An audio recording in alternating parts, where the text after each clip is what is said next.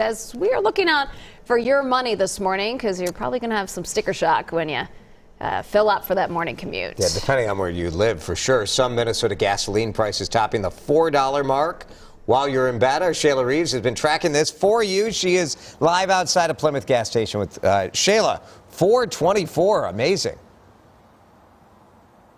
424 a gallon, Jason. This is actually on the higher side of what we're seeing across the Twin Cities. In fact, for Minnesota, AAA put the average price per gallon for regular at 395 overnight. So that's still about 40 cents higher than what we were seeing around this time last week. However, people are really feeling it whether they're going to work or or trying to transport folks like rideshare companies or cab companies right now. Some of those drivers drivers say they're working fewer hours and others are working to find another job.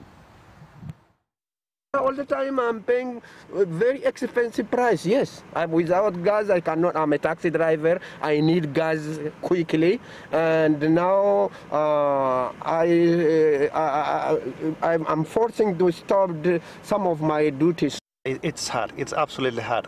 We are making that. Yeah, do you have a family or? Yeah, I have a family, three kids, and a wife, and oh, yeah, gosh. it's absolutely, Ooh. absolutely very bad. We have to look maybe look for another job or because of the gas. I think the difference is the gas.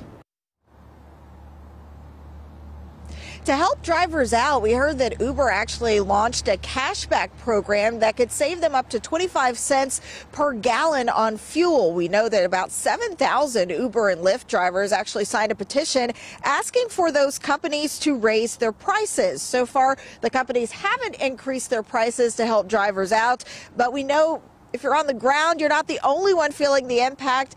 Airlines are seeing it too. Those fuel prices, jet fuel up as well. We're going to talk a little bit more about that and what that increase in price actually means for you if you're trying to hop online and purchase a ticket anytime soon. Jason and Heather? Yeah, I suppose we're all waiting to see if these price hikes are here to stay or if this is a temporary burst because, well, I guess it depends how long the situation in Ukraine happens. Shayla, we'll watch it. Thank you. State average did climb a little bit overnight, but most places are not seeing the prices that Shayla just showed you. 395 is the average in Minnesota this morning. Wisconsin over $4 at 403.